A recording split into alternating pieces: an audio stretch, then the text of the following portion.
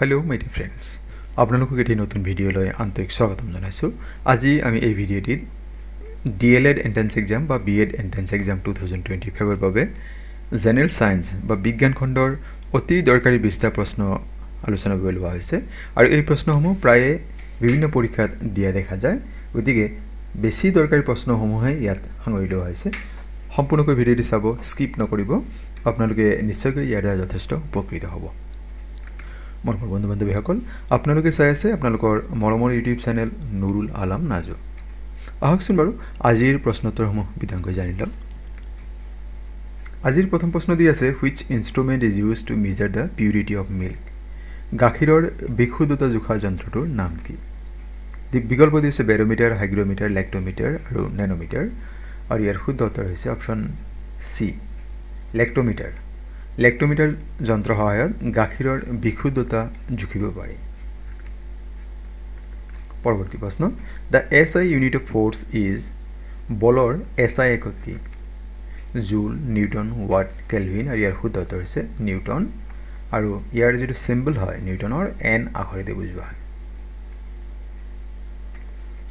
পৰৱৰ্তী প্ৰশ্ন which of the following organ gets affected if someone is suffering from jaundice কোনো এজন ব্যক্তি যদি জণ্ডিছ ৰোগত আক্ৰান্ত হয় তেন্তে তেওঁৰ কোনটো অংগ আচলতে আক্ৰান্ত হয়? জণ্ডিছ বেমাৰত যিজন ভুগি থকা ব্যক্তিৰ।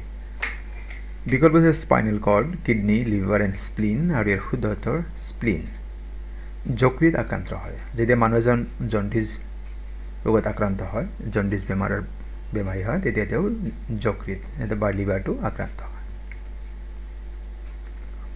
এয়া হৈছে লিভাৰ হয়। গতিকে ই আক্ৰান্ত হয় জণ্ডিছ বেমাৰত। পৰৱৰ্তী প্ৰশ্ন। A normal eye can see objects clearly beyond the distance of সাধাৰণ চকু এটাৰে কিমান দূৰত্বৰ বস্তু স্পষ্টকৈ দেখা পায়। Twenty centimetre twenty five thirty and thirty five centimetre ইয়াৰ শুদ্ধ উত্তৰ হৈছে টুৱেণ্টি ফাইভ চেণ্টিমিটাৰ সাধাৰণ চকুৰে আমি কৈছোঁ কাৰণ যদি কোনো বেমাৰত আক্ৰান্ত হৈছে তেনে নহয়। নিৰোগী চকী এটাৰে টুৱেণ্টি ফাইভ চেণ্টিমিটাৰ দূৰত্বৰ বস্তু স্পষ্টকৈ দেখা পায়। Question five which of the following metal is use to make the filament of electric bulb এই যে ফিলামেণ্ট মালা নিচিনা দেখা পাইছে এইখিনি। এই ফিলামেণ্ট ইলেক্ট্ৰিক বাল্বৰ ফিলামেণ্ট বনাবলৈ কি ধাতু ব্যৱহাৰ কৰা হয়? এই প্ৰায় প্ৰশ্ন দিয়ে দেখা দেখা যায় প্ৰশ্নটি গ'ল্ড এলুমিনিয়াম টাংষ্টেন আৰু চিলভাৰ শুদ্ধ উত্তৰটো হৈছে টাংষ্টেন অপশ্যন চি আমাৰ কাৰণে শুদ্ধ উত্তৰ হয়। Question number six which among the following is known as the power house of cell নিম্নলিখিত কোনটো কোষৰ শক্তিৰ ভঁৰাল বুলি কোৱা হয়? চাইটোপ্লাজম নিউক্লিয়াছ মাইটকণ্ড্ৰিয়া আৰু ক্ল'ৰ'প্লাষ্ট ইয়াৰ অপশ্যন চি যিটো দি আছে মাইটকণ্ড্ৰিয়া মাইটকণ্ড্ৰিয়াক কোষৰ শক্তিৰ ভঁৰাল বুলি কোৱা হয়। Question number seven the number of chambers in human heart is মানুহৰ হৃদয়ত কিমানটা?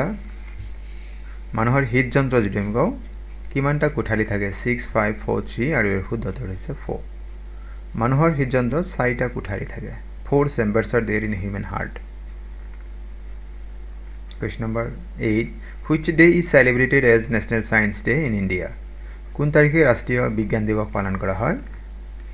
Twenty eight January twenty eight February twenty eight December twenty eight July আৰু ইয়াৰ শুদ্ধ উত্তৰটো হৈছে টুৱেণ্টি এইট ফেব্ৰুৱাৰী যিটো ৰমন ইফেক্ট হয় ডক্টৰ চি বি ৰমনৰ তেখেতে যেতিয়া সেইটো আৱিষ্কাৰ কৰিছিল সেই দিনটোৰ স্বীকৃতি হিচাপে এই দিনটো ভাৰতত ৰাষ্ট্ৰীয় বিজ্ঞান দিৱস বা নেশ্যনেল ছায়েন্স ডে হিচাপে পালন কৰা হয়। কেতিয়াবা প্ৰশ্ন দিব পাৰে যে নেশ্যনেল ছায়েন্স ডেৰ সৈতে ভাৰতৰ কোনগৰাকী বিজ্ঞানী জড়িত হয়? দেখা হৈছে doctor C V Raman.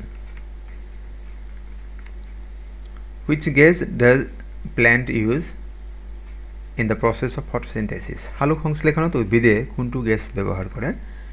Oxygen, carbon dioxide carbon monoxide, hydrogen, শুদ্ধ উত্তৰ হ'ব carbon dioxide option B আমাৰ কাৰণে শুদ্ধ fat is completely digested in the স্নেহ পদাৰ্থ সম্পূৰ্ণৰূপে ক'ত হজম হয়? মুখ ক্ষুদ্ৰান্ত বৃহদন্ত্ৰ আৰু ষ্টমাক। ইয়াৰ শুদ্ধ উত্তৰটো হৈছে স্মল ইণ্টেষ্টাইন বা ক্ষুদ্ৰান্ত। The blood vessels that carry blood from the heart to various parts of the body are called হৃদযন্ত্ৰৰ পৰা শৰীৰৰ বিভিন্ন অংশলৈ তেজ কঢ়িয়াই অনা নলীবোৰক কি বুলি কোৱা হয়?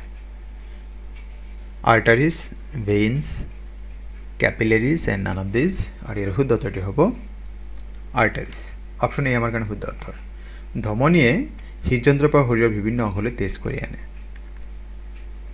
Which of the following vitamin helps in the blood clotting কোনবিধ ভিটামিনে তেজ গোট মৰাত সহায় কৰে ইয়াৰ বিকল্প দি আছে vitamin A C D K শুদ্ধ হ'ব ভিটামিন কে ভিটামিন কে মানুহৰ তেজ গোট মৰাত সহায় কৰে which of the following pair of elements and their chemical symbol is wrongly maths নিম্নলিখিত কোনটো মৌল আৰু তাৰ ৰাসায়নিক চিহ্ন অশুদ্ধ calcium C A phosphorus P symbol হয় ছ'ডিয়াম এছ আৰু নাইট্ৰজেন এন ইয়াৰে এটা চিম্বল ভুলকৈ দিয়া আছে সেইটো আমি আইডেণ্টিফাই কৰিব লাগে অপশ্যন চি আমাৰ কাৰণে শুদ্ধ উত্তৰ হয় ছ'ডিয়াম এই যিটো এছ দিয়া আছে চিম্বলটো এইটো আচলতে কি হয় ভুল দিয়া আছে ছ'ডিয়ামৰ কেমিকেল যিটো চিম্বল হয় এন এ গতিকে আমাৰ এই অপশ্যন চি যিটো এছেডি ছ'ডিয়াম ৰিপ্ৰেজেণ্ট কৰা হৈছিল এইটো ভুলকৈ দিয়া আছে। বাকী কেলছিয়াম লিখিবৰ কাৰণে চি এ লিখোঁ ফচফৰাছৰ কাৰণে পি আৰু নাইট্ৰজেনৰ কাৰণে এন ব্যৱহাৰ কৰা হয়। Next what is the chemical name of vitamin D vitamin ডিৰ ৰাসায়নিক নাম কি হয়? ইয়াত বিকল্প যে oxalic acid acidic acid ascorbic acid and calciferol আৰু ইয়াৰ শুদ্ধ উত্তৰটি হৈছে কেলচিফেৰল অপশ্যন ডি আমাৰ কাৰণে শুদ্ধ উত্তৰ। এতিয়া চাওক যে ভিটামিনসমূহৰ যিখিনি কেমিকেল নেম এইটো প্ৰায়ে দিয়া থাকে। আপুনি এইটো স্ক্ৰীনশ্বট লৈ ল'ব পাৰে।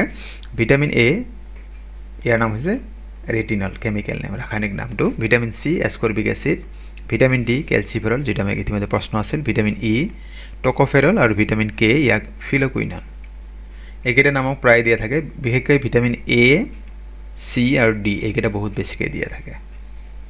অলপ আগতে আমি পঢ়িলোঁ তেজ গোট মৰাত সহায় কৰে ভিটামিন কে যাৰ কেমিকেল নেম হৈছে ফিলকুইনন এতিয়া চাওক ভিটামিন বি এইকেইটা ভাগ হয়। ভিটামিন বিৰ বেলেগ বেলেগ ভাগৰ বেলেগ বেলেগ নাম আছে। ভিটামিন বি ওৱান তাক কোৱা হয় thiamine vitamin B two riboflavin vitamin B three ইয়াক কোৱা হয় niacin vitamin B four adenine vitamin B five pantothenic acid vitamin B six pyridoxine আৰু vitamin B seven vitamin H বুলি কয় ইয়াক বায়'টিন আৰু ভিটামিন বি নাইন ফলেট বা folic acid আৰু ভিটামিন বি টুৱেলভ ইয়াক কোৱা হয় চাইনো কোবালমিন গতিকে এই তালিকা আপোনালোকে কাইণ্ডলি নোট কৰি ল'ব স্ক্ৰীনশ্বট লৈ ল'ব। ইয়াৰ পৰা আপোনালোকে প্ৰায় প্ৰশ্ন পাব যেতিয়া বিজ্ঞান সম্পৰ্কে যিকোনো প্ৰশ্ন আহিলে ভিটামিন সম্পৰ্কে যে প্ৰশ্ন আহে ইয়াৰ পৰা দিয়ে প্ৰায়ে দিয়ে। Question fifteen which mirror is used as a rear view in vehicles যান বাহনৰ পিছফালে চাবলৈ কি দাপোন ব্যৱহাৰ কৰা? আপুনি নিশ্চয় দেখা পাইছে এইটো। আপুনি গাড়ী চলাই থাকোঁতে আপোনাৰ পিছফালৰ গাড়ীবিলাক কিমান ডিষ্টেঞ্চত আছে আমি চাব পাৰে। এতিয়া যান বাহনত এই পিছফালৰ পৰা অহা যিবিলাক ভেহিকেল আছে এইবিলাক চাবৰ কাৰণে কি দাপোন ব্যৱহাৰ কৰা হয়? বিকল্প আমাক দিছে plane mirror convex mirror concave আৰু নান অফ দিছ ইয়াৰ শুদ্ধটোৰি হৈছে কনভেক্স উত্তল দাপোন ব্যৱহাৰ কৰা হয় গাড়ীৰ পিছফালৰ অন্য যান বাহন বা পিছফালটো চাবৰ কাৰণে question number sixteen what is the chemical name of লাফিং গেছ লাফিং গেছৰ ৰাসায়নিক নাম কি বিকল্প হৈছে sulphuric acid nitric acid carbon dioxide আৰু নাইট্ৰাছ অক্সাইড আৰু শুদ্ধ উত্তৰ হৈছে নাইট্ৰাছ অক্সাইড অপশ্যন ডি আমাৰ কাৰণে শুদ্ধ উত্তৰ এয়া হৈছে লাফিং গেছৰ ৰাসায়নিক নাম question number seventeen which of the following gas does not belong to noble gas নিম্নলিখিত কোনটো সম্ভ্ৰান্ত গেছৰ অন্তৰ্গত নহয় কাৰ্বন হিলিয়াম ৰেডন আৰু ক্ৰিপ্টন ইয়াৰ শুদ্ধটো হৈছে কাৰ্বন। কাৰ্বন নবল গেছ বা সম্ভ্ৰান্ত গেছৰ অন্তৰ্গত নহয়। সম্ভ্ৰান্ত গেছৰ অন্তৰ্গত গেছসমূহৰ নাম ইয়াত দিয়া আছে। Helium neon argon krypton xenon radon আৰু অগানেছন গতিকে এইকেইটা হৈছে আমাৰ ন সম্ভ্ৰান্ত গেছৰ অন্তৰ্গত। গতিকে আমাৰ কাৰ্বনটো ইয়াৰ অন্তৰ্গত নহয় সেইবাবে অপশ্যন এ আমাৰ কাৰণে শুদ্ধ। কাৰণ ইয়াতে কৈছিল হুইচ ডাজন বিলং কোনটো নহয় তাৰমানে। Question number eighteen vitamin B one deficiency leads to vitamin B ওৱানৰ অভাৱত কি বেমাৰ হয়? ভেৰি ভেৰি স্কাৰ্বি পেলেগ্ৰ এণ্ড ৰিকেটছ ইয়াৰে ভেৰি ভেৰি অপশ্যনটো আমাৰ ইয়াতে শুদ্ধ উত্তৰ হয়। আপোনালোকে মোক এটা কমেণ্ট বক্সত জনাব যে আমি যিটো কওঁ স্কাৰ্বি বেমাৰ হয় অপশ্যনে যিটো বি দি আছে স্কাৰ্বি বেমাৰ কোনটো ভিটামিনৰ অভাৱত? আপোনালোকে কমেণ্ট বক্সত জনাবচোন। Scurvy is a vitamin deficiency disease due to which vitamin কোনটো ভিটামিনৰ অভাৱত ভিটামিন স্কাৰ্বি নামৰ বেমাৰ মানুহৰ দেহত দেখা দিয়ে? Question number nineteen what is the scientific name of human মানুহৰ বৈজ্ঞানিক নাম কি? ইয়াত বিকল্প দিছে মেঞ্জিভাৰা ইণ্ডিকা চলনাম টিউবাৰুচাম হোম'চেপিয়েন্স আৰু কেমেলিয়া চিনেচিছ ইয়াৰে হোম'চেপিয়েন্স হৈছে মানুহৰ বৈজ্ঞানিক নাম। অপশ্যন আমাৰ কাৰণে চি শুদ্ধ উত্তৰ হয়। এতিয়া বাকীকেইটানো কি বুজায় এবাৰ জানি লওঁ। মেঞ্জিফেৰা ইণ্ডিকা এই হৈছে আমৰ বৈজ্ঞানিক নাম।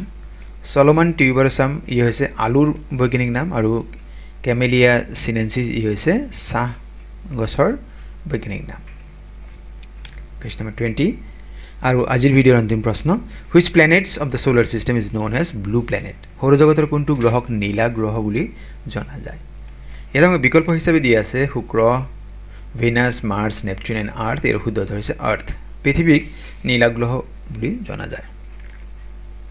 এয়া হৈছে আমাৰ আমি বসবাস কৰা পৃথিৱীখন এয়া। এই সম্পৰ্কে সৌৰজগতৰ গ্ৰহ সম্পৰ্কে আৰু কেইটামান দৰকাৰী কথা আমি পৰৱৰ্তী শ্লাইড দুটাত জানি ল'ম।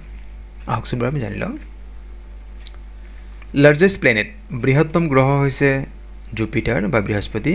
লাৰ্জেষ্ট ছেটেলাইট বৃহত্তম উপগ্ৰহ হৈছে গেনিমেড ই বৃহস্পতিৰ হয়।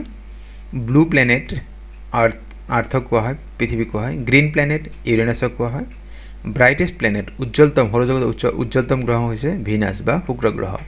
Coldest planet Uranus brightest star outside the solar system সৌৰজগতৰ বাহিৰৰ আটাইতকৈ উজ্জ্বলতম তৰাটো হৈছে চিৰিয়াছ ডগ ষ্টাৰ বুলি কোৱা হয়। Nearest star of the solar system সৌৰজগতৰ আটাইতকৈ ওচৰৰ নক্ষত্ৰ কোনটো? প্ৰক্সিমা চেঞ্চুৰী ইভিনিঙৰ মৰ্ণিং ষ্টাৰ সন্ধ্যা তৰা বা পুৱতি তৰা বুলি ক'লে আমি কাক জানো? ভিনাছ শুক্ৰ গ্ৰহক জানো।